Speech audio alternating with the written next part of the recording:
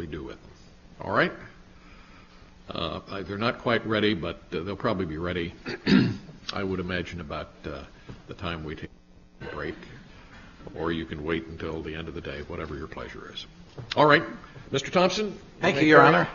Thank you. Uh, Professor, uh, I'd like to direct your attention to tab 16 in your binder. And this is uh, a document from the uh, CDC website from 2004 entitled Assistive Reproductive Technology, uh, which is uh, in the first sentence of the document is, uh, the shorthand is ART. And then if you turn to the second page, uh, in the second full sentence, it says approximately 1% of U.S. infants born in 2004 were conceived through ART. Professor, is it your understanding that uh, 99% of all children born in the United States are born of as a result of a procreative act between a man and a woman and not through ART? They're not statistics that I've looked into at all. Okay. Uh, Your Honor, we would ask the court to take judicial notice of uh, DIX 1049. Well, Um, Professor, turning to uh, tab 19, although I, I, I guess before we get there, let me ask you, do you agree that population growth is no longer necessarily seen as so desirable Where? Uh, that- that in the is, United States? Uh, uh, Not as so desirable as it was two centuries ago. Yes, I believe that is true. Okay. And uh, directing your attention to the second page uh, behind tab 19, this is a document entitled Low Fertility Can Governments Make a Difference uh, by a gentleman who's at the United Nations, dated uh, April 2, 2004. It's DIX 1046. And on the second page, in the second full paragraph, it states, a growing number of countries view their low birth rates with the resulting population decline and aging to be a serious crisis, jeopardizing the basic foundations of the nation and threatening its survival. Economic growth and vitality, defense, and pensions and health care for the elderly, for example, are all areas of major concern. Uh, Professor, do you know whether it's true that in the United States the birth rate is barely at the replacement rate? I think it's approximately at the replacement rate, but of course, in the United States, immigration has always been a great source of our population growth. We have not relied strictly on uh, reproduction. Illegal immigration? No, immigration Oh. that has been legal. Oh, Uh, I I see. Immigration that has been encouraged and legal through our history. Okay. And uh, the birth rate has declined from significantly from about 3.5 in the 1960s to about 2.1 today. Is that correct? I haven't reviewed these statistics recently. That sounds like it could be right, but I, I can't confirm. Your Honor, we would ask the court to take judicial notice of DIX 1046. well, Uh, Professor, I'd like to ask you to turn your attention to tab 20. Um, and this is uh, an interview with uh, Jonathan Rauch. Uh, Mr. Rauch is uh, a prominent supporter of gay rights, is he not? I really don't know. Okay. Uh, we'd, uh, and this is DIX 1035. I'd like to direct your attention to uh, the, the third page of this document, uh, and in particular to the paragraph that's the fourth full paragraph. And it says, Marriage is not like voting, something the government just gives you at the stroke of a pen by fiat. Marriage must be a community institution to have its full power, which is to make couples actually closer. It actually fortifies and not just ratifies relationships. Your marriage has to be recognized by your community, your friends, your family, your kids' teachers, your coworkers, all of the people around you as a marriage with all of the expectations and social support that goes with that. The law can't give you that. Is Mr. Rauch right that the law can't give you uh, the full power of marriage without the community support? I've maintained through my work that law and society work in a dynamic relation in the institution of marriage. Your Honor, we'd ask the court to take judicial notice of DIX 1035. Very well. I-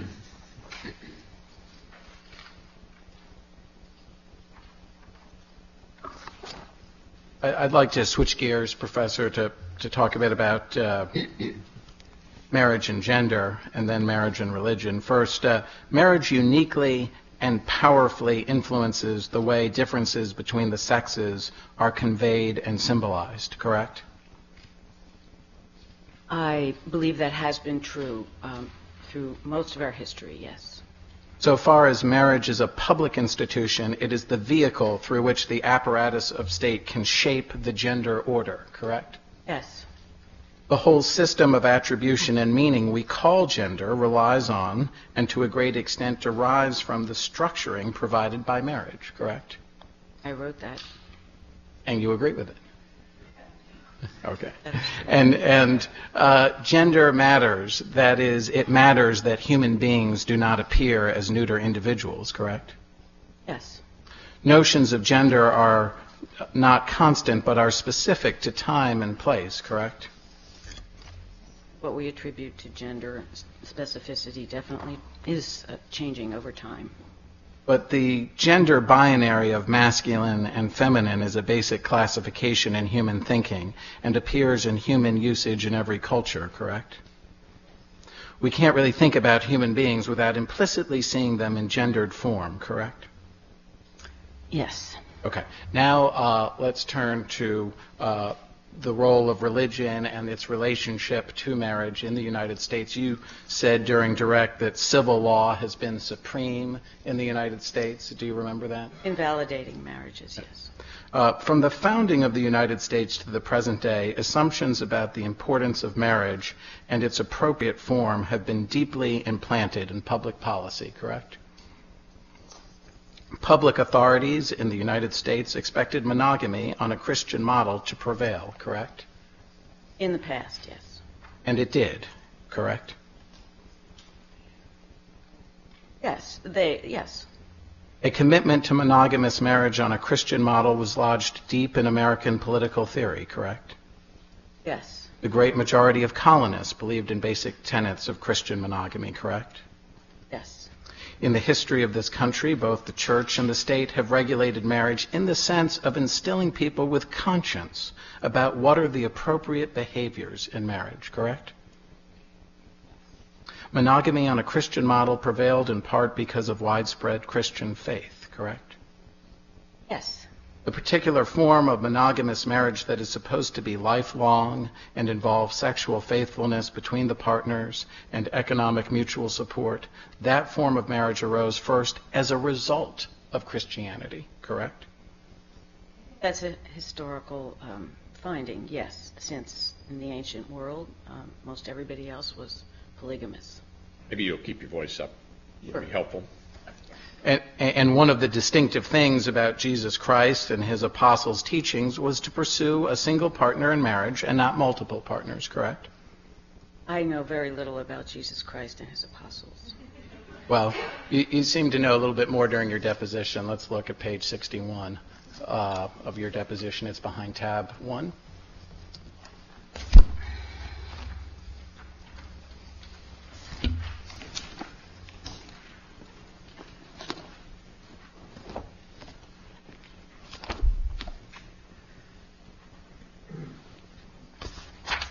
Page reference, Counselor? Uh, page 61, line 5, Your Honor.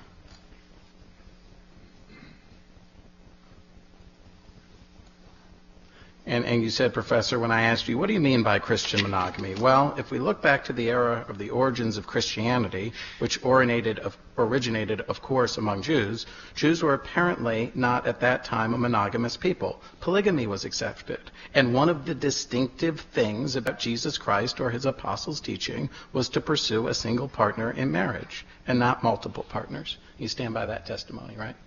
I do, and I was using Jesus Christ or his apostles as a stand-in for the notion that this, this was a notion that began with Christianity. The No. gen- forcible initially, but it, it, it was an innovation, is what I meant to imply here. The generation that founded the United States of America in 1789 subscribed to the basic tenets of Christian monogamy, correct? Yes, but again, I, want to make it clear, since you're repeating my words outside of the larger context, that I'm using Christian monogamy there simply to emphasize that monogamy, uh, simply to emphasize monogamy, not to point to any other tenets of Christianity that might have been uh, embraced or not embraced. Are you saying that there is a difference between Christian monogamy and some other form of monogamy? No, I'm simply saying that monogamy in world history is attributable, so far as I am aware, to Christian precepts. That pre-Christian societies did not either require monogamy or uh, impose standards of monogamy? Is that what you're saying? As far as, as far as I am aware, in the history of our own civilizations, uh, that, that pre-Christian uh, and certainly uh, that early Middle Eastern uh, a- arenas where Christianity arose, those areas were, uh, were, were not restricted to the practice of monogamy, right? Talking about the Western world, I assume? Well, the, if we think of Western civilization and the Judeo-Christian ethic, that is broadly what characterizes our Western civilization. Christianity was what introduced a restriction to a single partner for life as the, the marital regime.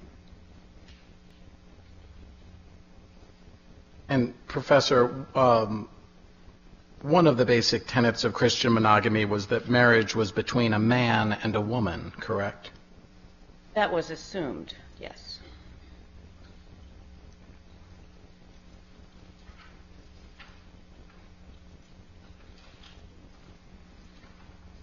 And to this day, large segments of Americans accept the Christian conception of sexual fidelity in marriage, correct? Yes. I, I do think the notion of sexual fidelity in marriage it, it goes beyond uh, Christianity, but yes, you could put it the way I would agree with it the way you put it. In 1789, there were laws that prohibited brothers from marrying sisters, correct? Probably, yes. There have typically been um, restrictions on um, close familial association for marriage. And, and this law reflected a biblical tenet, correct? I can't say what it arose from.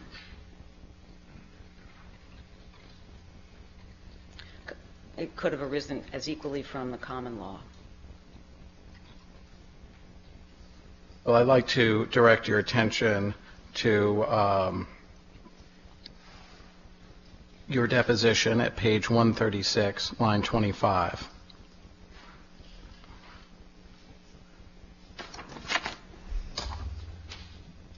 One thirty-six, you said? 136, uh, Professor.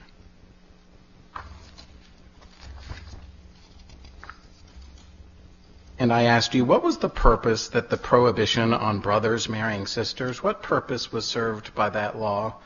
Various objections.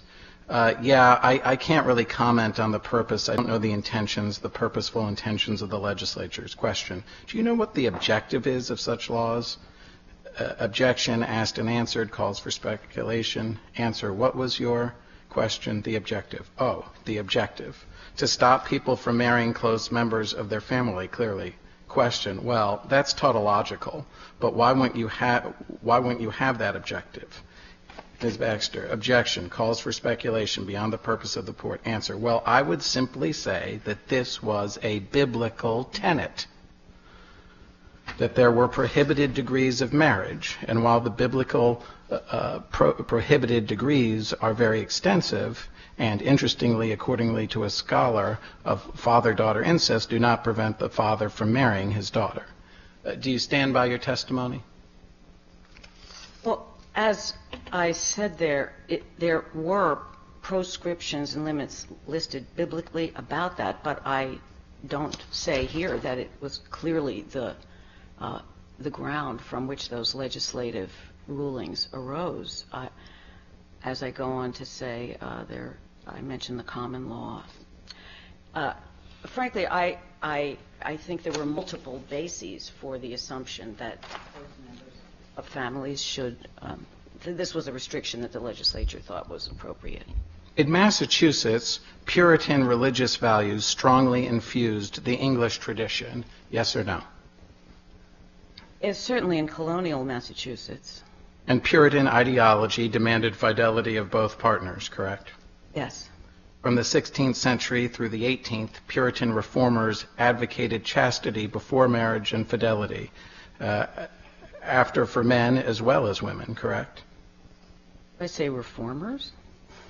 Are you reading my testimony or what? Well, I I don't have to tell you Oh. where you said it. Well, I mean, there weren't Puritan reformers. They were Puritans from the beginning. Puritans definitely believed in chastity before marriage and fidelity within it. That's clear. Yeah, there were differences between Puritan theory and canon law, correct? Puritans we- were radical Protestants. They did not believe uh, in the Catholic teachings. Are opening the door to the witness's testimony outside the United States. Well, I, I, th- that is true. The 15th century Puritans, I, I would concede, uh, as 16th century Puritans, she did write an article on the 16th century Puritans. No, I so to that not. limited extent. Oh, okay. Well, I've never dealt with the Puritans before the 17th century. let, let's look at tab 24 of your binder, which is an article you wrote 34 years ago. Tab 24? Yes, Your Honor. And it's called Divorce and the Changing Status of Women in 18th Century Massachusetts. And let's turn to page 600.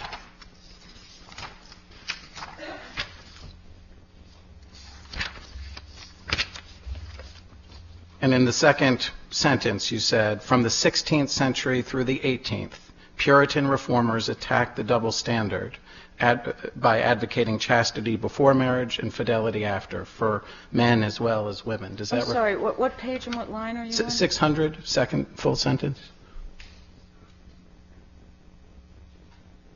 Oh, well, I'm, I'm, yeah, actually talking about um, Puritans in, uh, in England, because there weren't any Puritans in Massachusetts in the 16th century.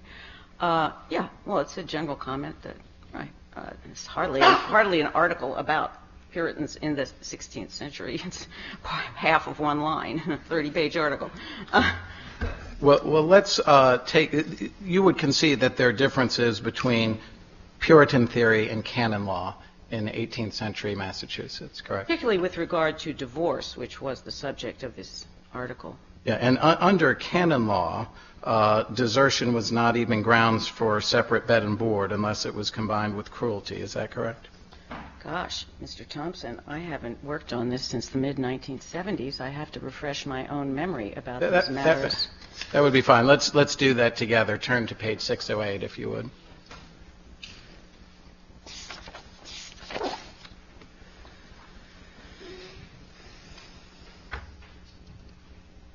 And, and you wrote, and we, we can look at this together, and I'll just read it, and you can let me know if you stand by this or whether your research has changed your thinking on this. But uh, on page 608, fourth line down, in Puritan theory, desertion warranted divorce. Under canon law, on the contrary, desertion was not even grounds for separate bed and board unless it was combined with cruelty.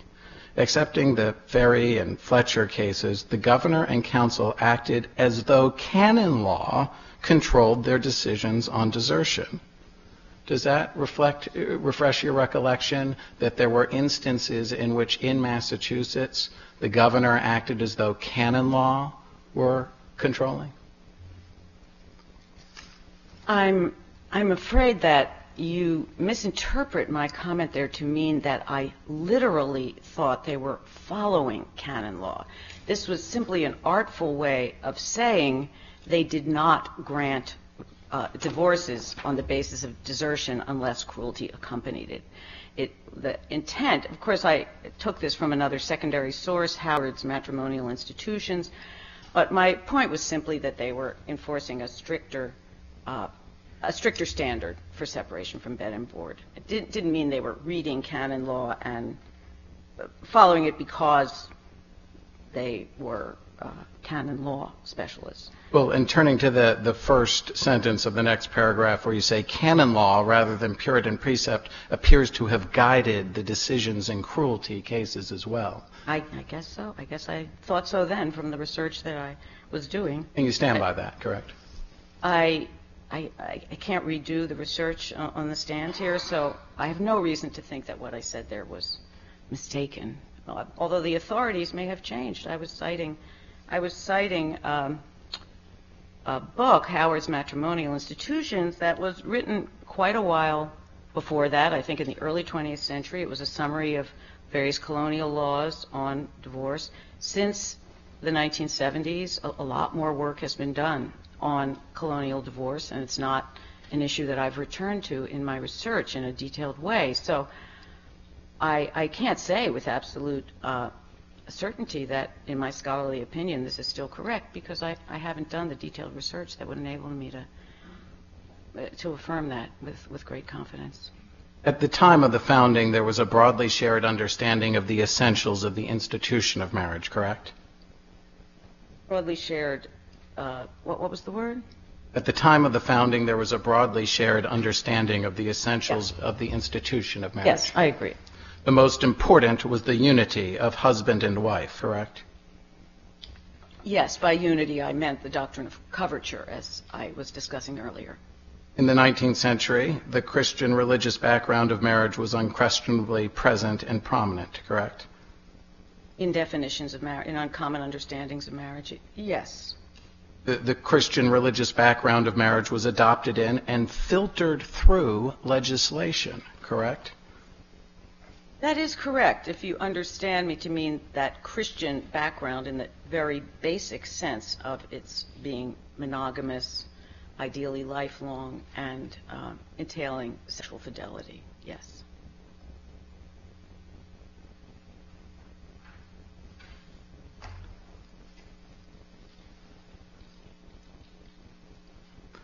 And by the end of the 19th century, there was an alliance between national authority and Christian monogamous moral- morality settled firmly in place. Is that correct? Well, I made that comment with respect to the long campaign that federal authorities took against polygamy as it was being practiced in Utah by the Mormons. The single standard that the national authorities wanted to enforce was that of monogamy, and they had also supported it with respect to trying to support the marriages of emancipated slaves in the uh, immediate post-Civil War period. In a general sense, the social meaning of marriage did not greatly change from 1789 to 1868, correct? There was actually a lot of legal change in the 15 years after the Civil War, correct?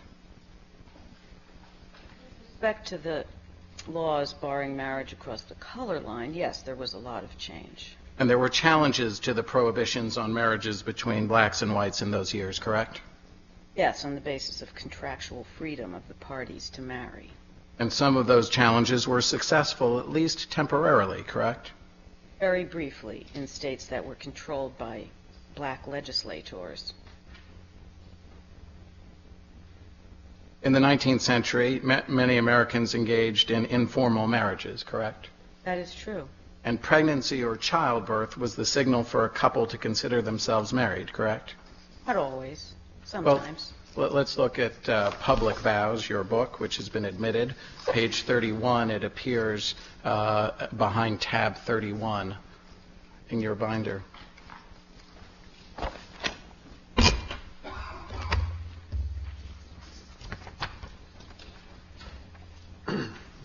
31, you said?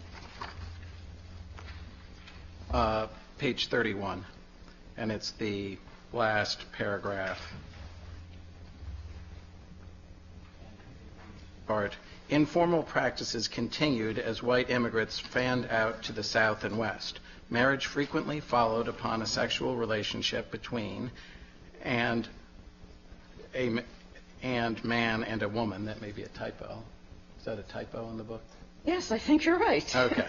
Uh, between a man and a woman proving fruitful rather than preceding it. Pregnancy or childbirth was the signal for a couple to consider themselves married. You believed that when you wrote these words, didn't you? Well, as I said, frequently, yes, the, this part of the sentence that uh, follows this, the colon uh, also incorporates that frequently adverse. I'm saying, yes, it often was, not always. One recent change in marriage has been the emergence of covenant marriage in certain states, correct? I'm aware that it exists. Do you know how many states have covenant marriages? I believe it's two, Uh, which states? Louisiana and uh, Arkansas, I think. Any others? Okay. And covenant marriage represents a change in the institution of marriage in Louisiana and Arkansas, correct? I'm not, I, I, I- my understanding was that it provided an alternative sort of marriage to what had been available before covenant was authorized. And in that sense, An additional form of marriage. and in that sense, it's a change to the institution of marriage to give couples that option, correct? About how much of a change it is. It seemed to me the covenant marriage was more a restriction that the couple placed upon themselves by deciding for that option rather than the standard option. But What the, what is covenant marriage? Uh, as I understand it, I, I think the couple pledges never to divorce, but I, uh, they pledge never to divorce. They, is that what it is? well, you're, you're the expert. Well, no, I mean this is something that's happened in the, just the past few years that I didn't. I, I think it hadn't even happened when I wrote my book, and I never really followed up on it since I didn't see it as a major. I don't know. I just didn't follow up on it. So I, I my sense was that it was harder to get out of a covenant marriage than a standard marriage, and that was what states had done. Provide an option for for spouses to say, I want to join this even firmer commitment. And then the state would enforce that decision, correct? Well, I assume so in making it harder for them to divorce, if, if that, I, I don't know what the specific provisions of covenant marriage are, or whether there are any punitive measures of enforcement, or exactly, I don't know how it's enforced. The legislation that inspired covenant marriage in, in Louisiana reflected Christian moral principles, is that right? I don't know. Now, you- you've reviewed the uh, congressional testimony surrounding the Defense of Marriage Act in connection with writing your book, is that right? Not all of it, but a bunch of it, yes. And, and congressional debate on the Defense of Marriage Act reiterated long-lived official insistence on traditional marriage as a necessary pillar of the nation, correct? Yes, many of the proponents of the Defense of Marriage Act did. Did any of the proponents of the Defense of Marriage Act explain their support for the legislation by reference to their religious convictions? I don't recall. You've read Edmund Burke's reflection on the French Revolution, haven't you? I did, it was an awfully long time ago. Do you know whether, whether you read it or not, do you know that one of the things Edmund Burke emphasized was a respect for tradition in that work? I really can't say. Do you, do you know whether any of the supporters of the Defense of Marriage Act supported the legislation because of a respect for tradition? I assume they did.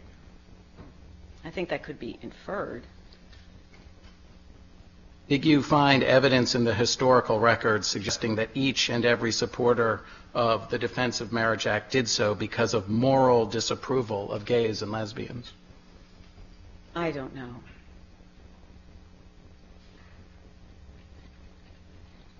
In the United States, a state has never prevented a man who is homosexually oriented from marrying a woman who herself is homosexually oriented, correct? That is correct so far as I know. And it's definitely happened that a gay man has married a lesbian, correct? That's happened. And so, in that sense, sexual orientation is not literally what the law is prescribing in marriage, correct?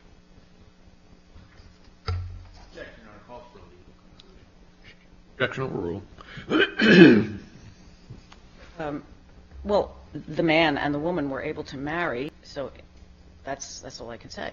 Well, let's look at what you said during your Iowa deposition, tab 2, uh, page 52.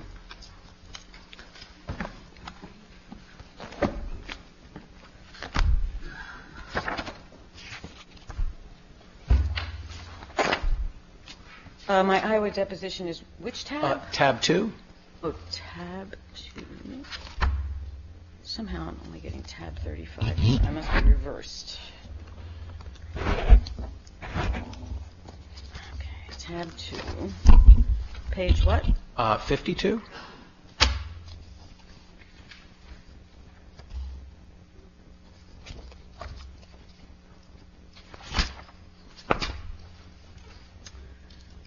52, okay.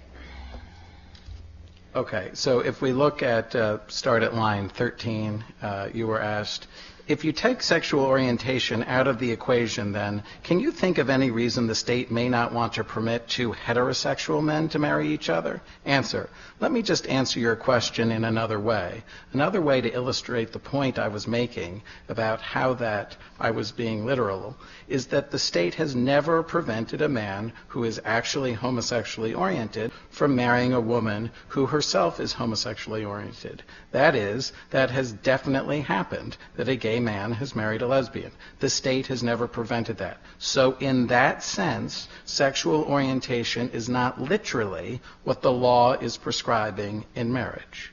And you stand by that testimony, correct? I do. Okay. Uh, Now, let's turn to uh, the uh,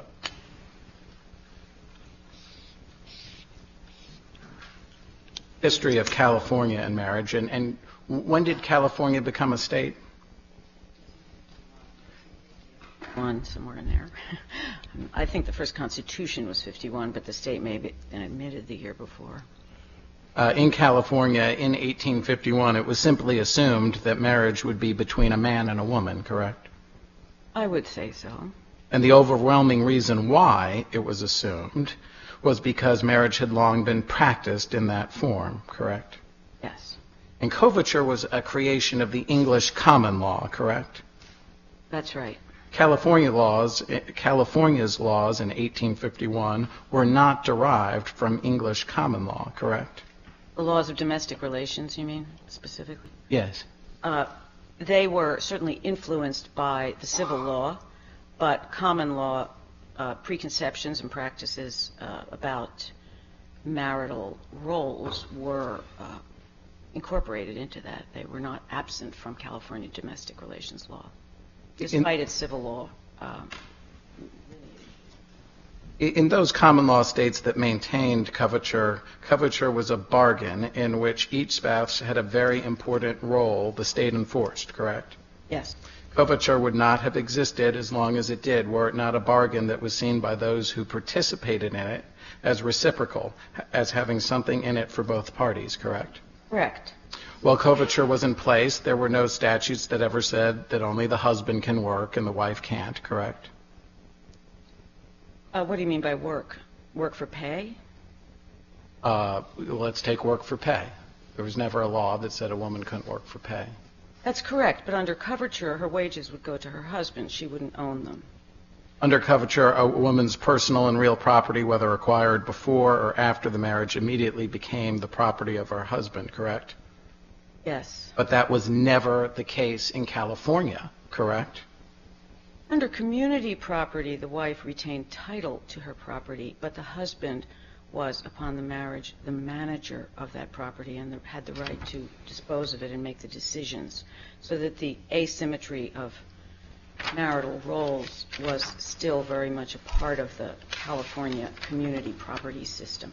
But by the time California became a state, coverture had already been significantly broken into by married women's property laws in various states, correct?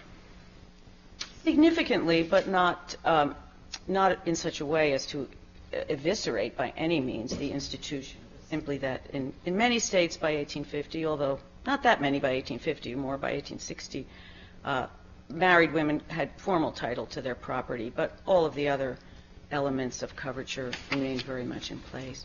By the time California became a state, coverture had already been, uh, excuse me, uh, before California became a state, the people of California were governed by Spanish law, correct? Precisely, I assume so. It was, oh, you know, before 1848, before the war, Mexico uh, uh, had the property, and so I don't know exactly what governed between 1848 and 1850. I I guess it was part of a U.S. territory. All right, and, and and just so the record's clear, under civil law, coverture did not exist, correct? Coverture as such did not, but I don't think we should assume that that meant uh, a vast difference in terms of the understanding of marriage as dictating quite different spousal roles, quite, quite asymmetrical spousal roles. Federal courts had very little role in the dismantling of coverture, correct? That is correct.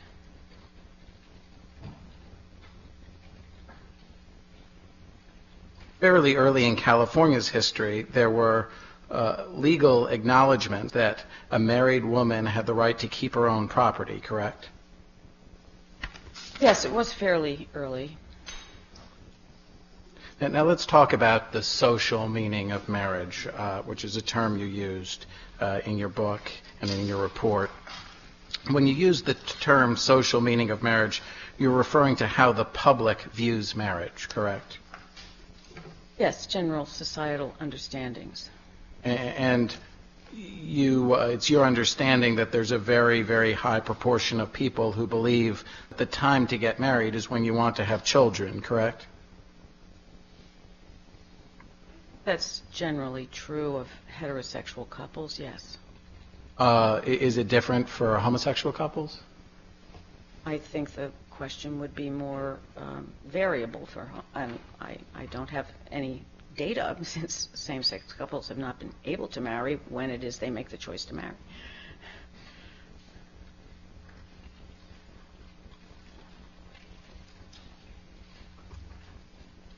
Marriage has evolved into a civil institution through which the state formally recognizes and ennobles individuals' choices to enter into long-term, committed, intimate relationships, correct? Yes, But there's no requirement in law that a person who wishes to get married actually intend to have a long-term relationship, correct? I don't think that marriage licensors inquire into intentions. I think that's accurate. Mutual love has always been a part of the social meaning of marriage in the United States, correct? Part of the social meaning, never a precise requisite for entering the institution, but part of the social meaning indeed. Yeah, but there's never been a legal requirement that people be in love to get married, correct? Not at all.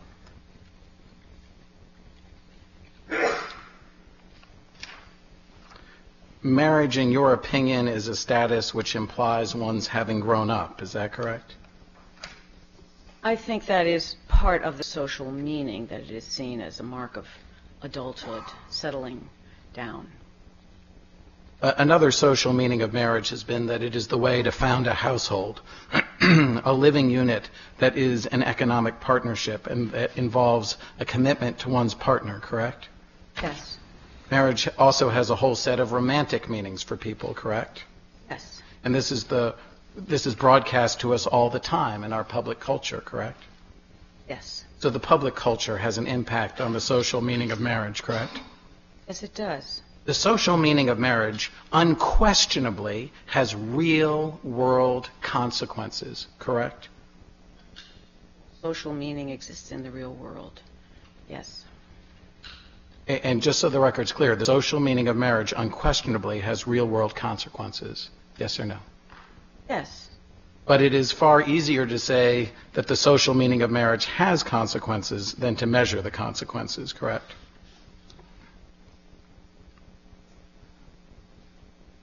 Yes. For the generality of people, the social meanings of marriage are highly influential in their own personal views of the institution, correct? Yes. One way the social meaning of marriage changes is through actual social practices, correct? Yes. Another way the social meaning of marriage changes is through economic transformations, correct?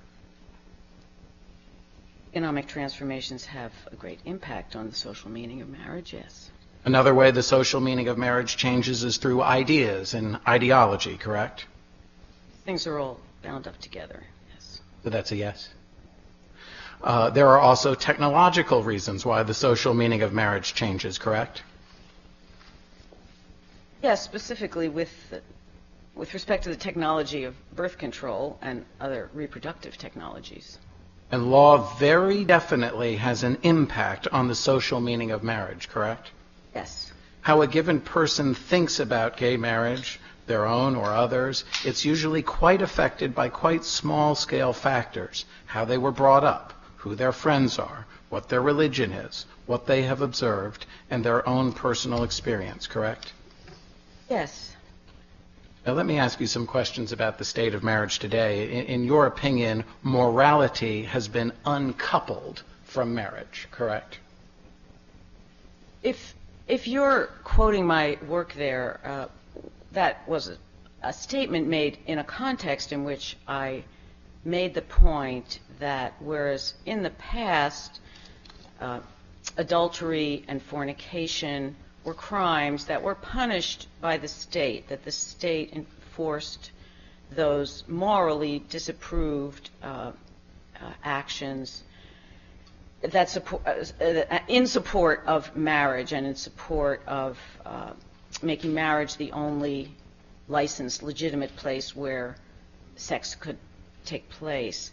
Uh, and the, I think what I was describing in making that claim about morality being uncoupled was that um, we have a much broader and more flexible set of social mores about sex, marriage, and morality uh, in the past couple of generations, so that state regulations about marriage are no longer, and state enforcement of regulations are no longer principally interested in punishing sex that takes place outside of marriage. Rather, marriage is upheld for other forms of social good and not the seen to be moral goods that it, it, it was a principal conveyor of um, in the past. Morality, particularly with regard to sexual behavior.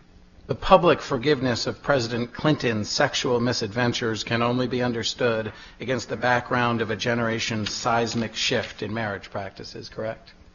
Yes, I was referring there to the fact that, that the public tended to, at least a majority of the public, did, did not uh, uh, topple President Clinton from the presidency, even though his infidelities were made public because, I argued, the um, the social meaning of marriage had moved toward assuming that spouses themselves are the best ones to decide on what is appropriate behavior within the marriage, so that the public tended to see this as a matter between Hillary Clinton and Bill Clinton and not a matter that was something the state should judge. Your Honor, I would request that the witness be instructed to answer the questions yes or no rather than give these long uh, speeches. Well, I think you got an answer. I got an answer, all right. Uh, Follow up on it, but Okay. uh, I don't know that we need to go into Bill and Hillary Clinton That's right. in any great depth. Okay. Uh, a- At the 20th century's close, marriage could no longer be considered a predictable venture. Is that correct? That's correct. Marriage in part, marriage laws in part reflect concerns about population size, correct? I'm sorry, could you repeat that? Sure. Uh, marriage laws uh, in part reflect concerns about population size. It's certainly a potential, yes, of marriage laws to be concerned about that. The alteration in the relationship between marriage and the state might be called disestablishment, correct? Yes or no? As a heuristic device, yes, it might. In, in the history of religion, the term disestablishment is sometimes used, correct? It is a descriptive term in the history of religion. In some countries, there is an established religion, and the ending of that special status is called disestablishment, correct? Yes. Disestablishment did not mean that religious institutions disappeared, correct? On the contrary, the consequence more often of disestablishment was that religious sects proliferated, and no single model was any longer supported and enforced by the state, correct? Yes. By analogy, one could argue that the particular model of marriage, which was for so long the officially supported one, has been disestablished, correct? One could argue. Today, plural marriages have bloomed, in your opinion, correct? Illegally, yes. And in fact, uh, in your opinion, marriage is now understood as a private choice today, correct? Choice whether to marry or not to marry is understood as a private choice, yes. This stance has allowed hundreds and perhaps thousands of individuals to revive polygamy, correct? I don't think it's that that has allowed it. I- Well, let- let's look at what you wrote in Public Vows, uh, page 213, tab uh, 31.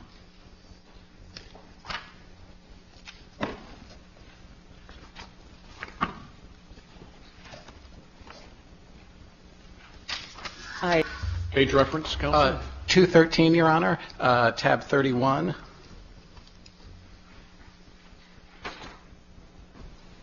page, I'm sorry, tell me the page again, please. Uh, 213.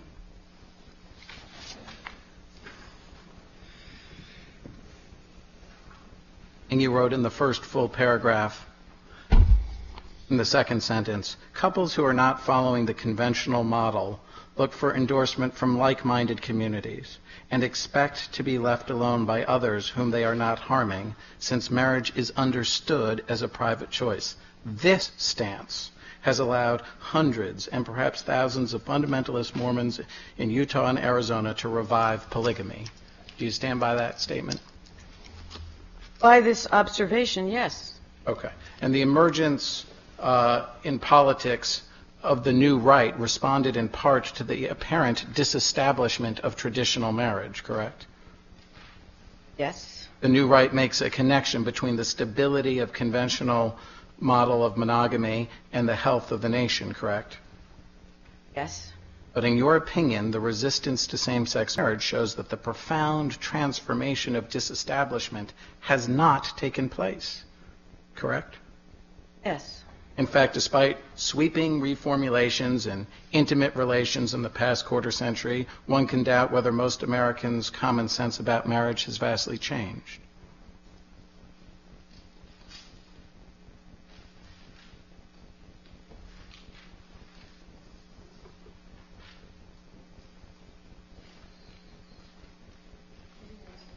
Correct. What, what is, yes, I think that's correct.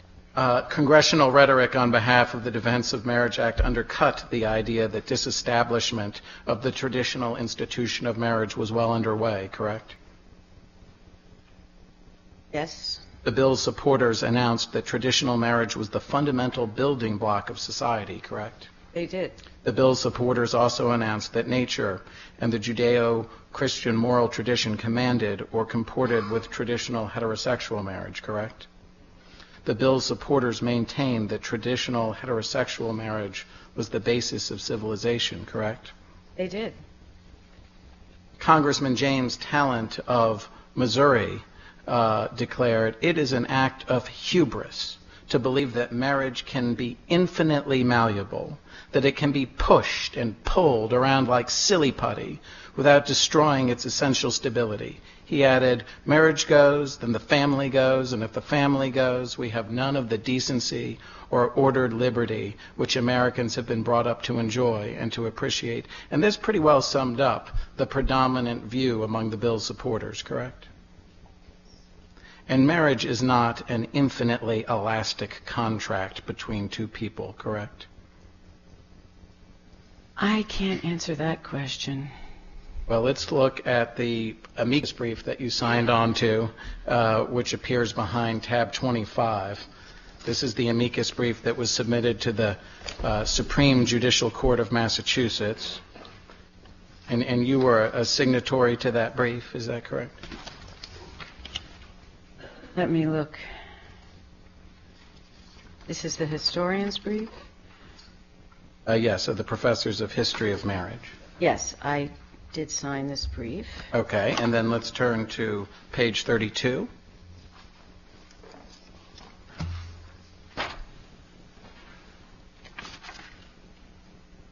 And the first sentence says 20th century courts have made clear that marriage is not an infinitely elastic contract between two people. Do you agree with that statement? Okay. Yes, I'll agree with it. It's right. not infinitely elastic. Congressman Talent, in the comments I just read, voiced a tension that had been present ever since legislators began altering the terms of marriage in the 1840s, correct? Yes. And during the debate on the Defense of Marriage Act, uh, the fear was expressed that licensing same-sex marriage would start a slippery slope to licensing polygamy, correct? Was. Now, while you were at Harvard, you've taught a class entitled Men, Women, and Marriage, is that right? Yes, I did. And uh, you taught that class in 2006 or 7, is that right? That sounds about right. And in that class, you assigned some selections from a collection that Andrew Sullivan had put together that were documents uh, relating to the same-sex marriage controversy, is that correct? That sounds right. Uh, Your Honor, we'd like to move the admission or ask the court to take judicial notice of DIX 1032. We've provided copies uh, to uh, plaintiffs prior to trial and to the court. N32, maybe you can connect that up to uh, the witness. Yes, did you know of a better uh, collection of, if someone wanted to look at the arguments for and against same-sex marriage as a policy matter, not as a legal matter, do you know of a better resource that captures fairly and accurately all of the different points of views than Andrew Sullivan's book? I I can't answer that. I know I chose it at the time because it was convenient. I assigned a few documents within it. It was handy. I, I can't say that it's the best rendition of pro and con ideas. No, I, I can't affirm that. Well, can you name one that's better? Not a type of anthology I've researched lately, so I, I just don't have the wherewithal to answer that. But it- when you were teaching your class at Harvard, you thought it I was... thought it was adequate. Whether it was the best, I can't say. I see.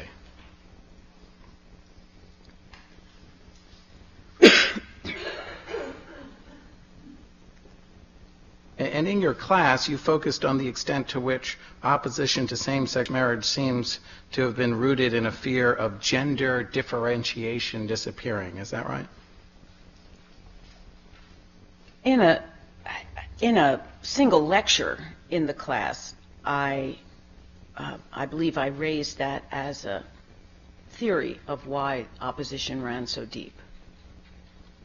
And um, you, you've testified before the Vermont, or provided a statement to the Vermont legislature when it was uh, considering same-sex marriage. Not exactly.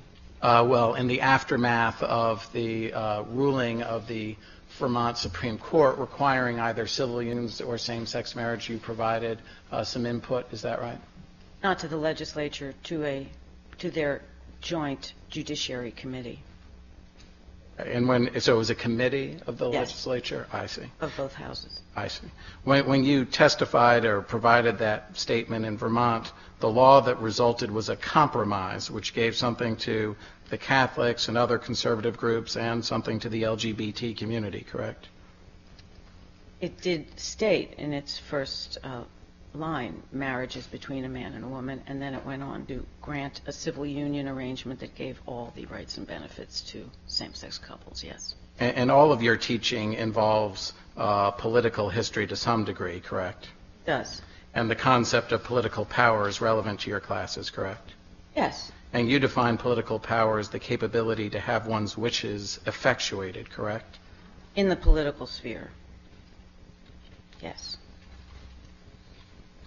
Now, you believe that there are changed circumstances that have, uh, th- that support uh, extending marriage to same-sex couples, correct? I do. And in the 19th century, marriage was confined to a man and a woman and not extended to same-sex couples as a matter of tradition, correct? I don't believe anyone ever pressed for marriage. Uh, any same, any couple of the same sex ever pressed for marriage, so the question was never defended. So it was, marriage was maintain- maintained between a man and a woman in the 19th century as a matter of tradition, Of correct? custom, yes. At that time, the homosexual as a person had not really been recognized as such, correct?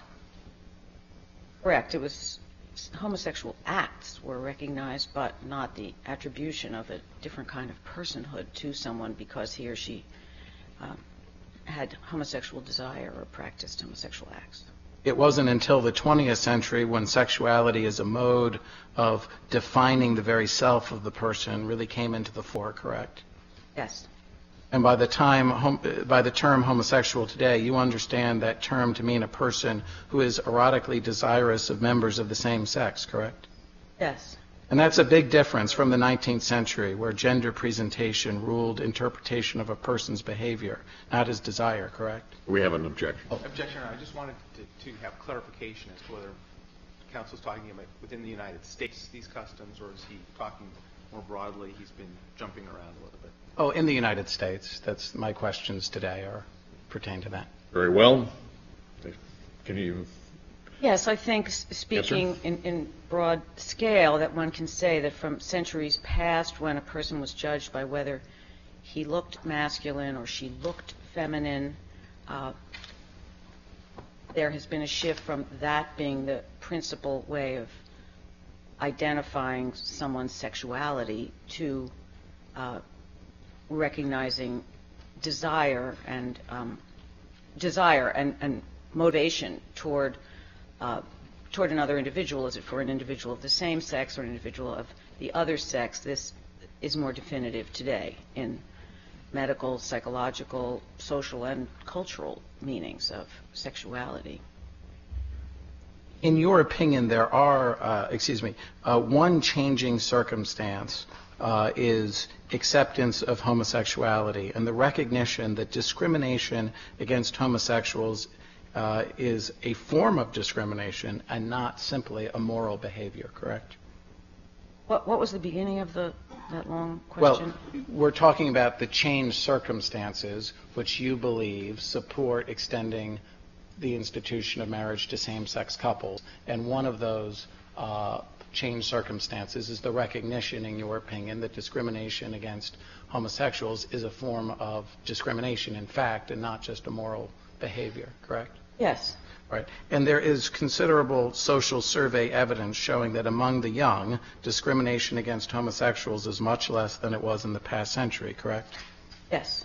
And another one of these changing circumstances is men's and women's gender roles that have made them, uh, while not completely fungible, much more duplicative of, the, of one another in many arenas of life, correct? Yes. And in your opinion, these things together make up a series of changing circumstances that make same-sex marriage a very reasonable proposition. In fact, a very reasonable thing to enact, correct? Yes. Now, uh, let me ask you about gender differences. Uh, You're familiar with the concept of sex ratio, by which I mean the relative proportion of men and women in a given society? Yes. And you're perfectly willing to grant that there might well be different rules when there's a scarcity of women as opposed to a scarcity of men, correct? Different state rules or different customs? I'm not sure what you mean. Di- Different customs. Different customs? Yeah. And in fact, it's highly likely there would be difference in rules pertaining to sexual relations in a community where you had a relative scarcity of men as opposed to a community where you had a relative scarcity of women, correct? It's a reasonable hypothesis.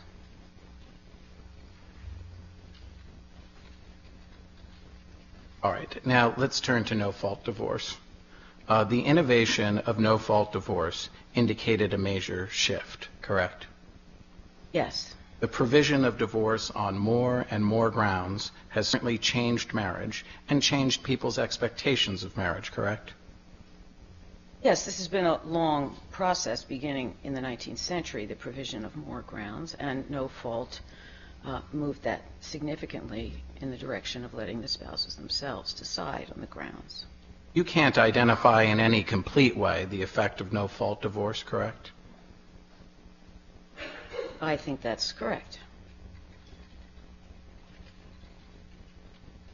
And if you were attempting to assess whether no-fault divorce changed the relative standing of men and women within marriages that persisted, it would be extremely hard to discern the answer to that question, correct?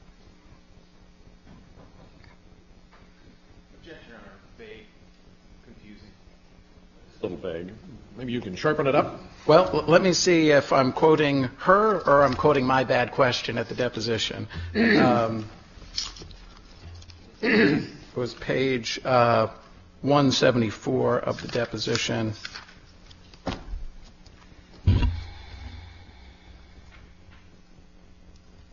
Let me just uh, do it this way, uh, Professor. Um, Would would you agree uh, that uh, from a societal perspective generally, uh, no-fault divorce changed the relative standing of men and women within marriage? I don't know. I, I don't know.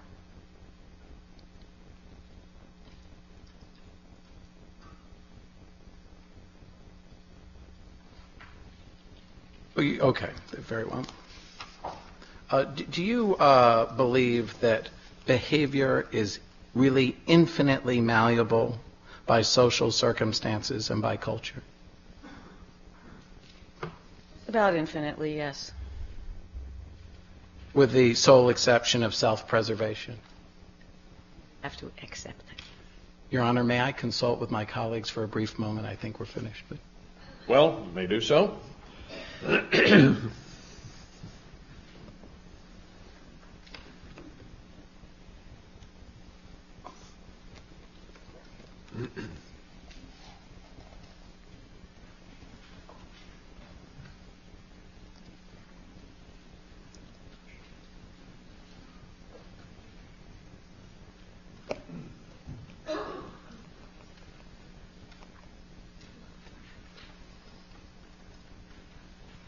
Your Honor, we we have no further questions. Thank you, Professor.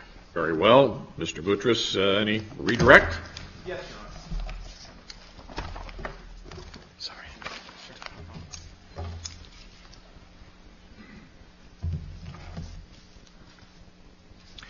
Professor Cott, um, Mr. Thompson asked you some questions about your personal views of the issue of whether individuals of the same gender should be able to marry, and I'd like to ask you a couple of questions on that too.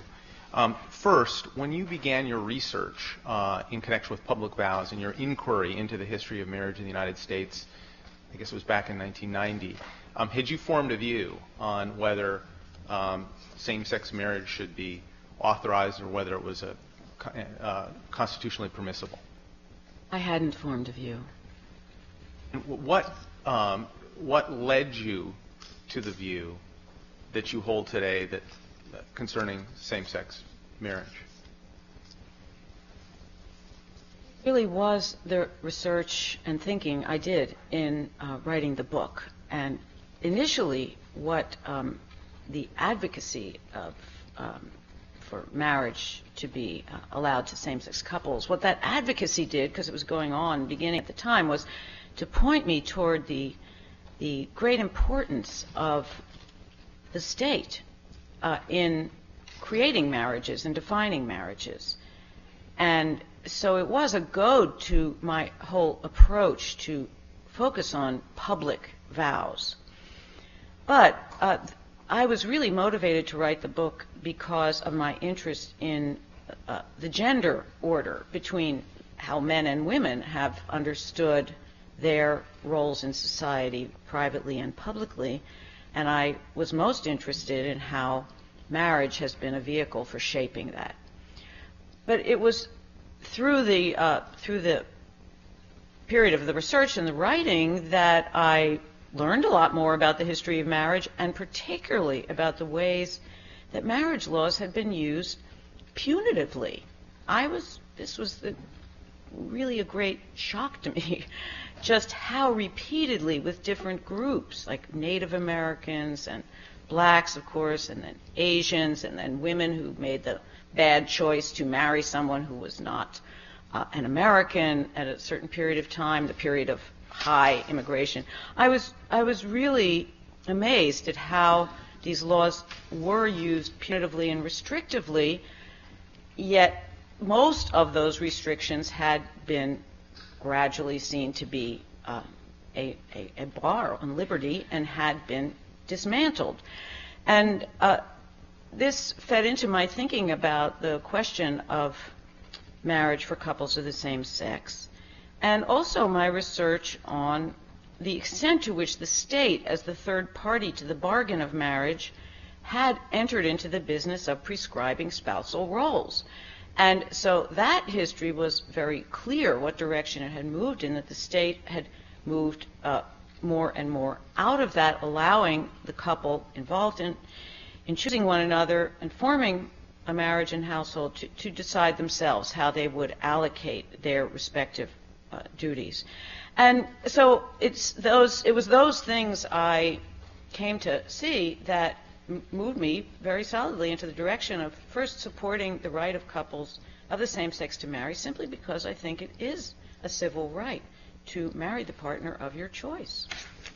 When, um, if your historical research during that period had led you to conclude that history and tradition in the United States and the changes in, in our history did not su- support the uh, uh, elimination of marriage to individuals of the same sex marrying, would you be here today testifying in support of the plaintiffs? I don't think so. But another thing I might mention is that in studying this history, I was also really struck with the extent to which marriage has not been one thing, that it is a flexible institution. And in fact, what we, uh, the fact that it is so alive and vigorous today and so desirable a status, and that couples of the same sex want to enter it, is testimony to how far it has not been one static thing over time, that it has shed its attributes of inequality, and it has shed most restrictions to entering this honored institution. And um, I sometimes think of it as rather like our U.S. Constitution, that it, it has certain essentials that remain the same, but it has been altered to adjust to changing circumstances so that it remains a very alive and, and vigorous institution today. Let me ask you about the elimination of the racial restrictions, coverture, the other discriminatory prohibitions you talked about. Did the elimination of those barriers to marriage change the social meaning of marriage? I think they changed it in a very positive direction. And this is, was particularly evident in uh, the 1960s, 70s period of social turmoil over marriage, as among as about many other things, and then the period after. In that, um, there was a great deal of um, of negative sentiment voiced about the institution of marriage in the 1970s, and many alternatives to marriage then, like swinging, and these were all among heterosexuals, but open marriage, many, many complaints about the injustices embodied in the institution of marriage and the ways that there ought to be um, alternatives to it that would be socially approved.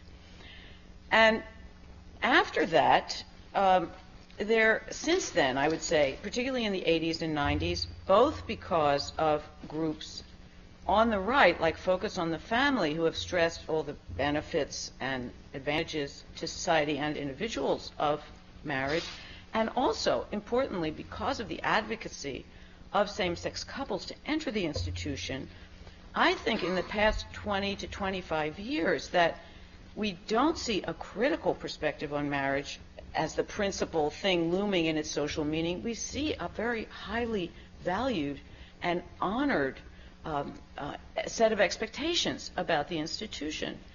And so I, I think this, this, this is another suggestion that by uh, clearing away from the marriage institution its aspects of restriction and regulation and emphasizing the liberty aspects, the creation of a zone of intimacy that the partners choose, um, that these emphases within marriage and in the state's prescription of what marriage is have helped to, to um, give it new reverence in recent years as compared to, say, 40, 50 years ago when it was really under fire. What did you mean uh, in, in your book, Public Vows, when you spoke about this concept of disestablishment that Mr. Thompson raised with you a moment ago? Well, I was using it as a heuristic device or uh, a framework for thinking about research. and suggesting, as I said in answer to him, that there might be an analogy to the disestablishment of religion, which was not bad for religion. It actually was quite good for religion in that many sects like the Methodists and Baptists and so on were able to flourish in addition to the standard Presbyterians and Congregationalists and so on. Um, and what I really meant was that the established marriage that I had been tracking over 200 years in American history was that one that prescribed spousal roles, that um, put strong, bright lines of morality between extramarital relationships and marital relationships, um, and that imposed certain restrictions on access. And disestablishment would be to give a more flexible um, and amplified um, definition for the institution.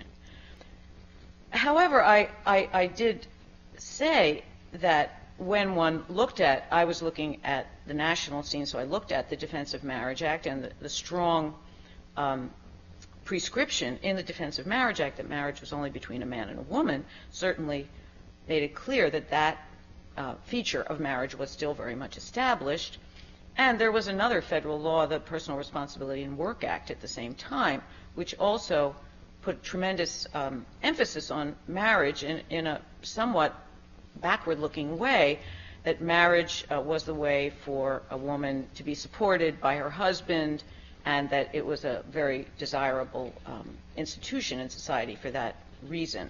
It seemed to go back on um, the, uh, the, the law, the constitutional law about gender asymmetry in I'm sorry, about the gender symmetry and equality in the marital relationship.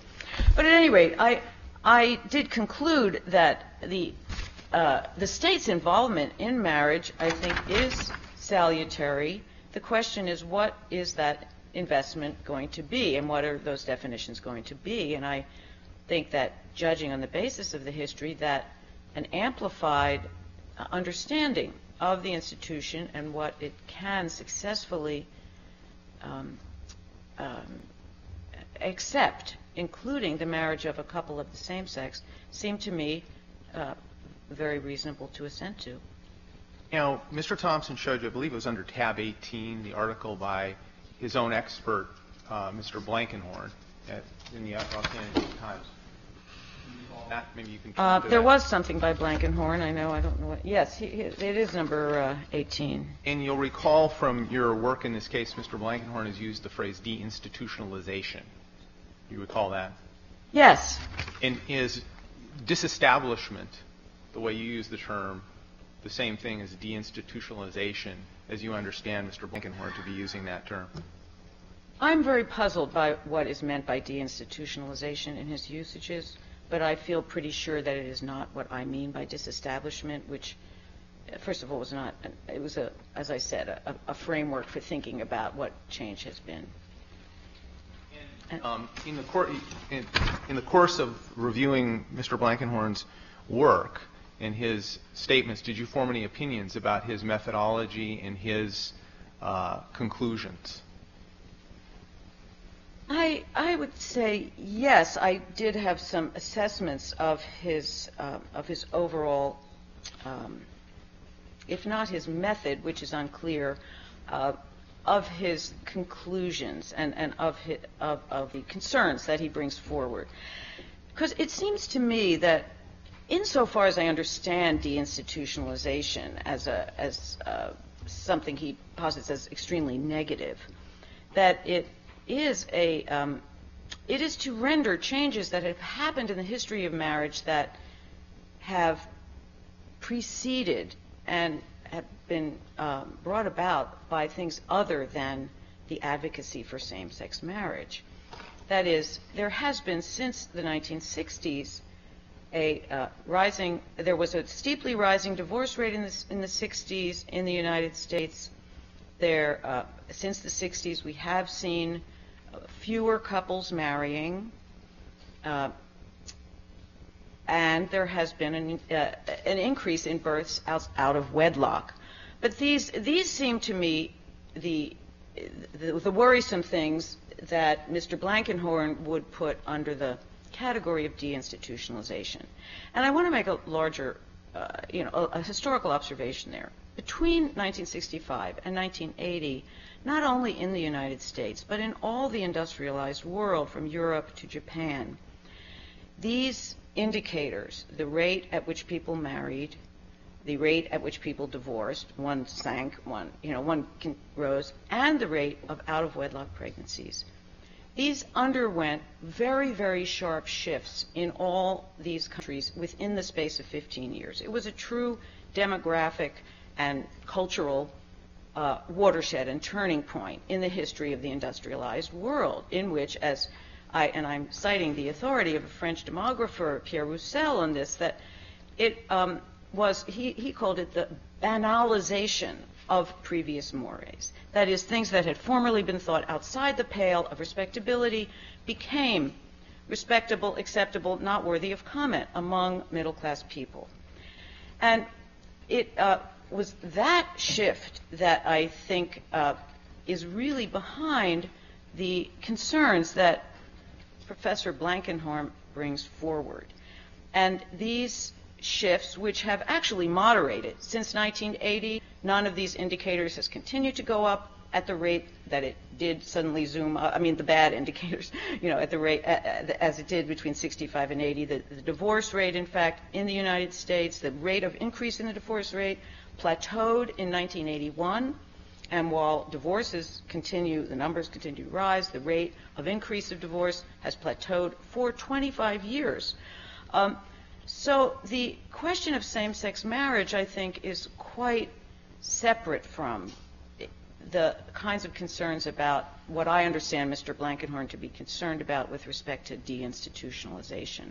I think it has more to do with changes that have occurred in heterosexual mores about love and sex outside of marriage than it does to do with the question of same-sex couples wanting to enter the marriage institution and gain its stability and its formal imprimatur. Mr. Thompson um, pointed you to page 199 of your deposition, which is under tab 1. I'd like you to turn to that if you would. And beginning on line 2, where he asked you the question about the Massachusetts divorce rates. Oh, yes. You, yes. you, you uh, were not allowed to give the context and the full meaning of what you meant there. Could you do that now?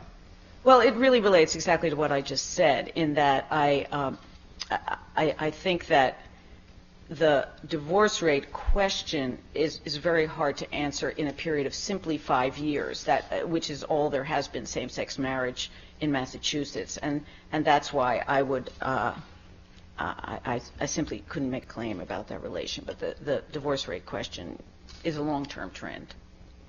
Now, uh, since we're talking about divorce, what, in your view, is the relevance of the, the no-fault divorce movement that swept the nation, United States, um, in terms of the analysis of the issues in this case, in the Perry case? I think it's uh, very clearly that the passage of no-fault divorce here, starting in California, of course, which was the first state, and then sweeping through the states, and as well becoming the characteristic form of divorce in Europe, um, is was an indication of the shift in um, in weight from the state to the couple with respect to the terms of, of, of marital performance. That, as I've said, spousal roles used to be dictated by the state. Now they're dictated by the couple themselves. There's no requirement that they do X or Y if they're one spouse or the other. And similarly with divorce, that under the adversary regime that preceded the no fault dispensation, one spouse had to accuse the other of a fault that the state had defined as the reason a marriage could be ended. And that led to, in that was behind the times in that many couples by the 20th century both knew that their marriage had broken down. One of them may not have committed the fault that the state defined, particularly in the state of New York, which only had the ground of adultery, and of course is a very large and influential state. And uh, so couples would collude to present a fault before the court. And this was the movement for no fault divorce was in fact started by lawyers who thought this was very bad for the law. that people should be colluding and their lawyers should be colluding with them. So no fault divorce really set into uh, actual practice what had been happening to a great extent behind the shadow of the adversary regime.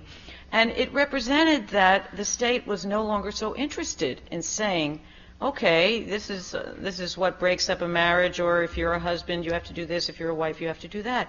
And it, that move um, it, it underlines the fact that, that gender asymmetry, that specific performance of one marital role or another is not what uh, is in the law of marriage these days, and seems to me to open the door to um, the appropriateness of a same-sex couple getting married. Does it reinforce that trend that you mentioned earlier relating to uh, mutual consent and, and choice in terms of the person to whom you would be married? Yes, in respect that the mutual consent and choice about the marriage ending is now part of the no-fault um, dispensation. When no-fault divorce swept the nation, were there alarm bells sounded concerning the effect that might have on the institution of marriage in this country? I think at the time there were so many alarms raised about marriage between 1965 and 1980 that I'm not sure I could separate out the particular alarms by no-fault divorce uh, about no-fault divorce. But it uh, certainly it was never uncontroversial and any um, change in uh, terms of marriage ha- have always had their opponents and their alarmists. Your I probably have about 20 minutes more questioning. What's that? I have about 20 minutes of additional questioning. I can do it now, or if the court would like to break now, whatever the court prefers.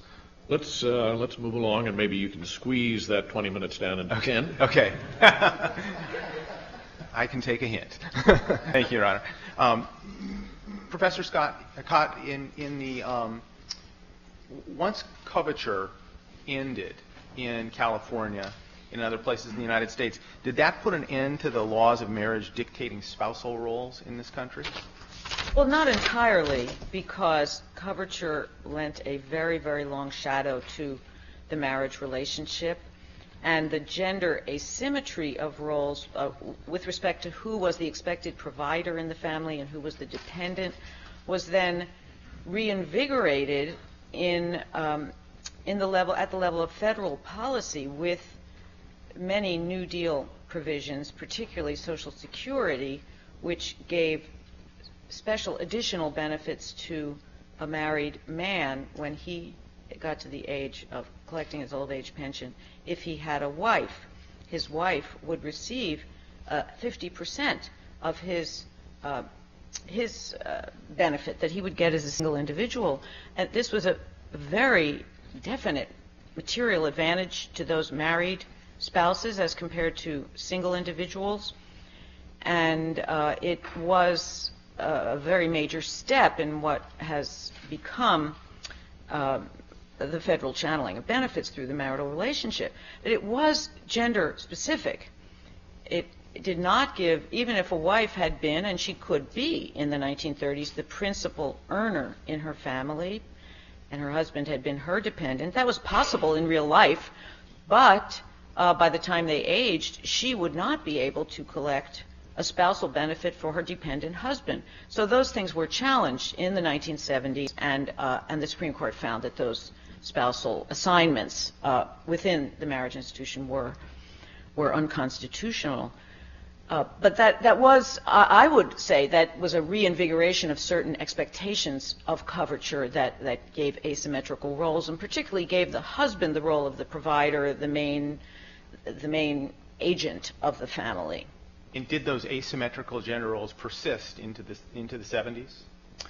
Uh, well, in, in the federal benefits, yes, most How about certainly. culturally, uh, from a historical Well, I think perspective? this, that the, the cultural, um, certainly the state's role in assigning benefits to marriage itself, those material advantages, is one of the, one of the things that holds up the particular prestige that marriage has. It's in a reciprocal relation with the other cultural valuations.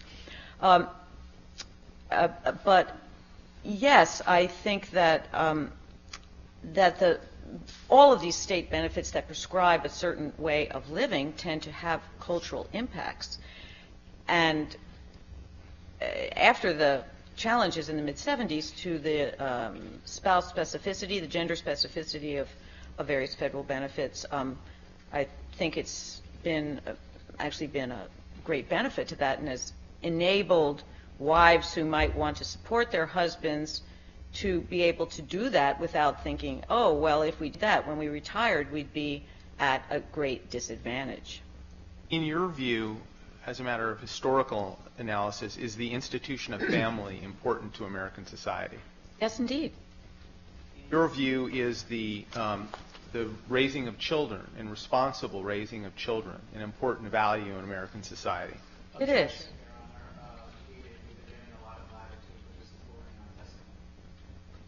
Objection overruled. Yes, it is.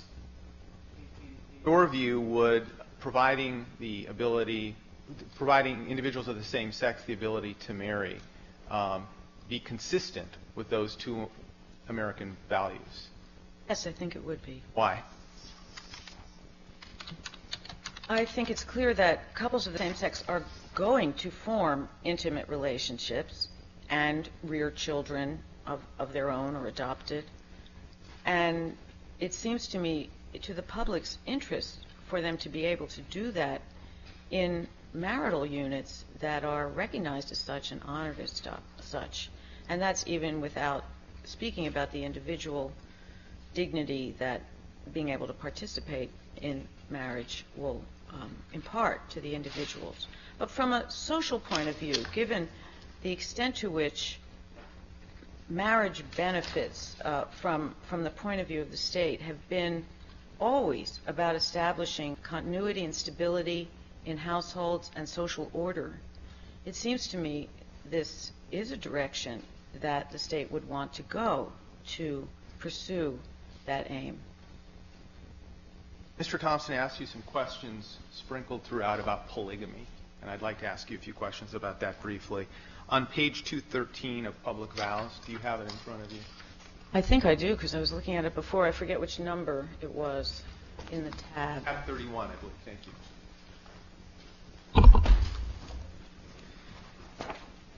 Top of 213, I believe, the first full paragraph. And Mr. Thompson had read the sentence about this stance has allowed hundreds and perhaps thousands of fundamentalist Mormons in Utah and Arizona to revive polygamy. When you wrote that sentence, were you in any way endorsing uh, polygamy? Absolutely not. And, and were you suggesting in any way that it was it had become legal? Uh, I'm just trying to find the Oh, exact spot. I was on 215, I think. Here we go.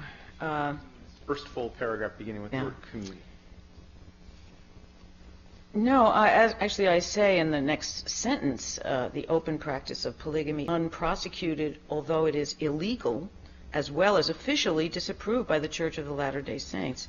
Uh, I, I think I was really pointing to the ways in which the, most states do not prosecute behavior that is seen as private, um, even when it is formally against the law. That is, I think probably many states still have adultery as a crime on their laws.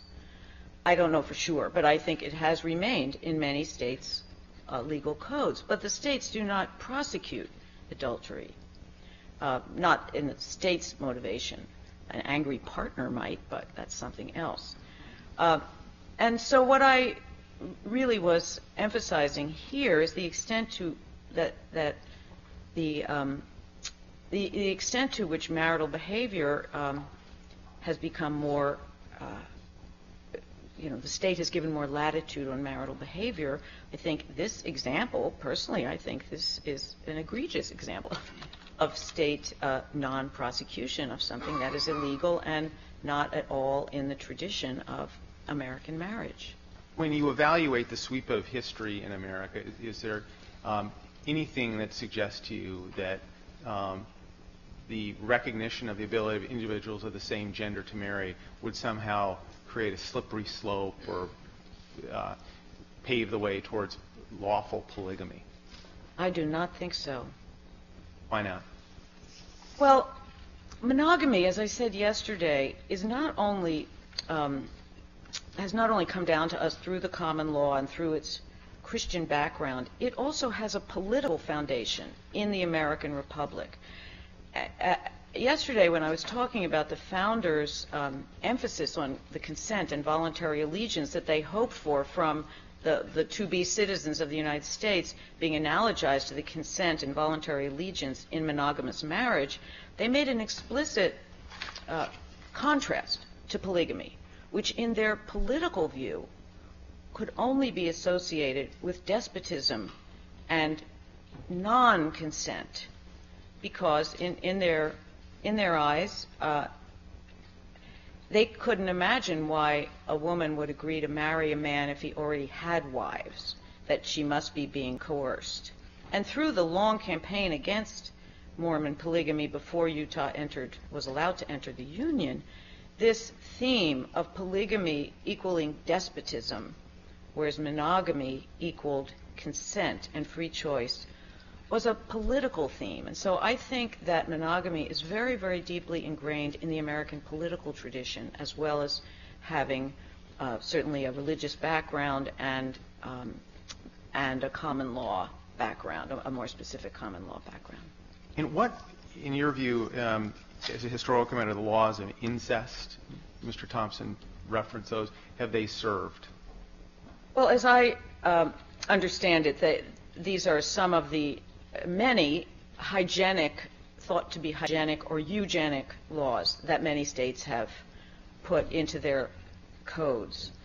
And uh, actually, hygienic laws have varied over time, usually in tune with what is thought to be scientific in the period from the 1880s through to the 1930s with the rise of eugenics to very high status. There were very many laws put into states saying that certain people considered feeble-minded couldn't marry or other characteristics and categories that we don't really use today or don't consider legitimate.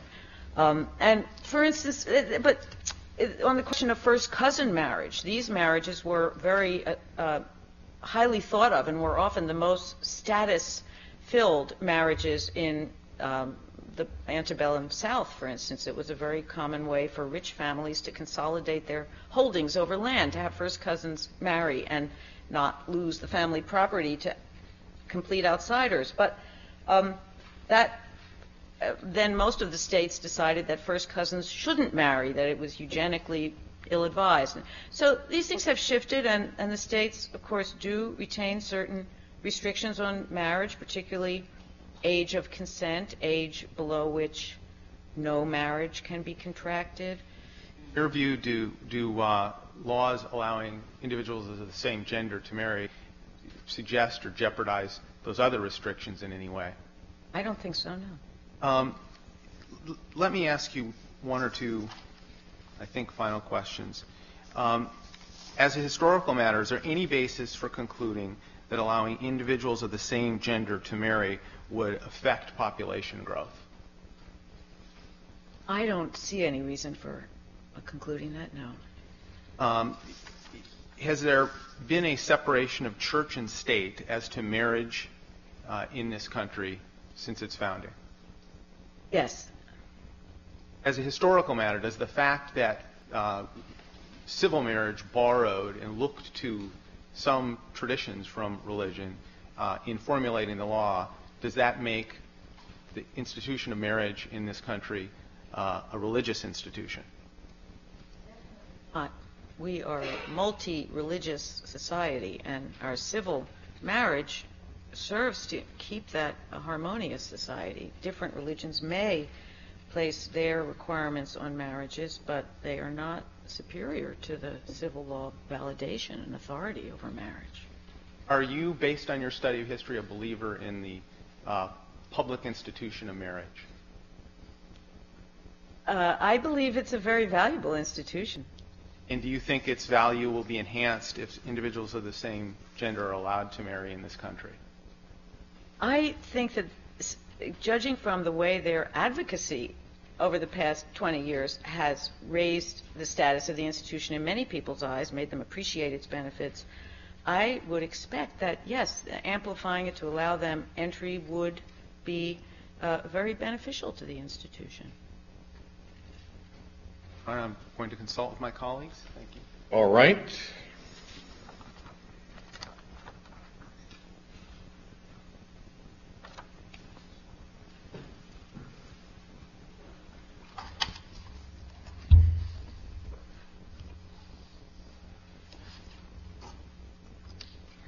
I believe that's the- end of my question. I just wanted to make sure, as a formal matter, that the exhibits on the list that I had presented to the court were uh, admitted into evidence before Professor Cott steps down. That's my understanding, along with those referred to uh, by uh, Mr. Thompson. Those were the judicial, judicial That's correct. Uh, Let me ask, uh, while you're on the stand, uh, Professor, you described marriage as an instrument of governance. How is it that the state or government became the principal uh, formulator of the rules of this governance, rather than uh, the governance being left up to contractual relations between the parties or private institutions? Well, I, I think that simply, well, let me put it this way. Uh, our marriage rules are inherited from the, the colonists uh, who originally were in this nation. And in both, uh, in, in both England in the common law and in the civil law, there were long traditions of governmental authority over marriage. Under the civil law, they were not ex- exclusive to the government. That is, for three, four centuries in Europe, there were great tussles between the church and the state over which of these authorities should control marriage because of the extent to which it was a governing vehicle. But in all of the modern um, monarchies in Europe, the, the state won, and certainly in the one most relevant to our institutions in the United States, in Britain, the state retained control using the church as the ceremonial partner in marriage. The United States form, uh, growing up from the colonies, was even more decidedly toward the secular authority. I think it had a great deal to do with the fact that religious authority was very poorly established. Ecclesiastical authority of the Church of England was extremely poorly established in the early United States. And there simply wasn't the biomass around to uh, enter. In So, what you're saying is state regulation of marriage was not invented in the United States. oh, certainly not, certainly not. It came here as part of the heritage of Yes. those who settled in the United States. And what were the driving forces behind this growth of state regulation of marriage? Well, I, I wouldn't say growth. I would simply say that the, the states were the ones who, who set the terms from the beginning, from the beginning, from colonial legislatures to state legislatures. I think what's, uh, perhaps this will clarify, But I understood you to say that the state's role in the United States was more expansive, more vigorous than it had been in Europe. Is that a fair? no, simply that there was no contest between state and church of anything like the proportion that the contest between monarchs and the Catholic Church uh, that occurred over centuries in Europe. But not, not it's simply that there wasn't so much of a contest. It was civil, uh, civil authority, not 100%, but you know, majority percent from the beginning. Maryland, for instance, was a more Catholic colony. It had more ecclesiastical authority over marriage. But certainly from the founding of the United States and the establishment of state governments as compared to colonial legislatures under the British Empire, in all the state governments, um, secular authority over marriage was established and was considered part of the police power, the power of the states over the health, safety, and welfare of their population. And marriage rules were seen as part of that police power, and it's one of the reasons that they ha- this power to regulate and define has remained at the state level, and uh, does by the Tenth Amendment is actually not part of federal um, power to prescribe, although federal policies on marriage have greatly affected marriage. The states have the right to define marital entry, exit, etc. Was there some sort of vacuum that this state power was flowing into and filling? A vacuum because there was the absence of private regulation or regulation by private entities or institutions? Well, in, in the Anglo-American tradition, marriage has always been a matter for governance. It was, certainly it involves By state governance. There's private Well- governance and state governance. Oh, That's- okay. That's the distinction I'm trying to oh, draw. Oh, okay, I, I apologize, Your Honor.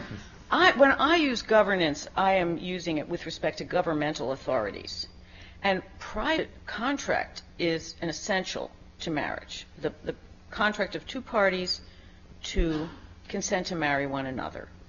But that contract to marry is not valid in our nation unless the state joins in as a third party and says, I credit your private contract. That's what I meant in the very beginning by saying marriage is this unique public-private blend in that it requires private free consent, but it involves the public in um, monitoring and setting the terms of whether that consent creates merely an informal relationship or a valid marriage. And what are those interests that the government has in this contract between the two marriage partners? Well, I think the interests are, as I was suggesting, in um, bundling certain social rewards with the duties that are imposed on the couple by the state in order to uh, incentivize stable, long-term household formation and care of the couple for one another. The, uh, that reciprocal bargain in marriage long ago, when it was unequal, and today, is one spouse takes up the obligation to support the other in marriage, and that is enforced by the state. And you're saying in the absence of that, and you're saying in the absence of that bargain, there are certain harms or externalities or social costs that flow, and it's in the state's interest to regulate. Yes, the state has always seen it as in its interest to regulate it, yes, and I think that interest continues. Very well. Thank you, uh, Professor Cott, for your testimony. You may step down, and why don't we take our luncheon break at this time? Be back and ready to go if you can at uh, 1:30.